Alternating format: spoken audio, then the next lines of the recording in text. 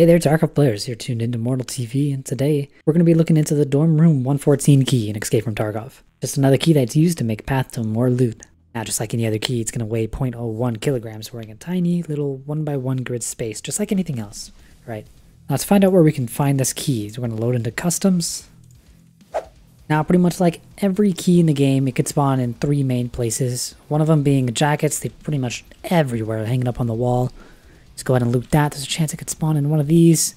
Got the Goshan cash register key, but that's not what we're looking for, so you can take it if you want, but we're looking for something else.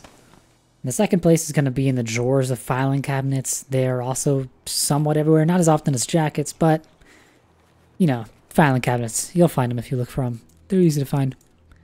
So for me, I got tape, but if you just keep on looting all the drawers, eventually you'll find some keys. As for getting this specific 114 key, it's all chance. Good luck on it, man.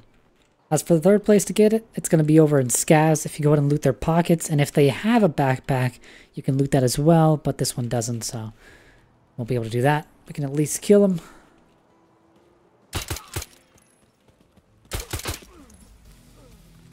You just go ahead and loot him up, see if it's in his pockets.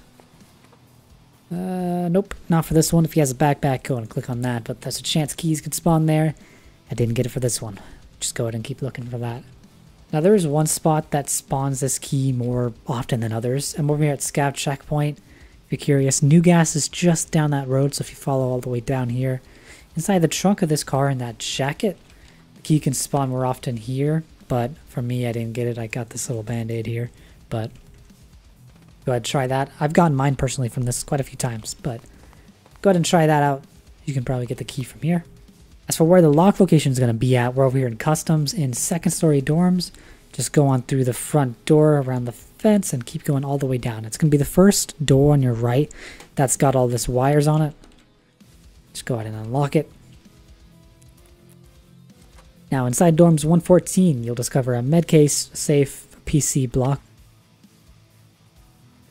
And also, this room is essential to get into for the pharmacist quest. Now that wraps up our dorm room 114 key guide. Now, it's not just about the loot for this key, it also has a quest item that you're going to have to grab and carry out. Go ahead and share your own experiences with the dorm room 114 key down below.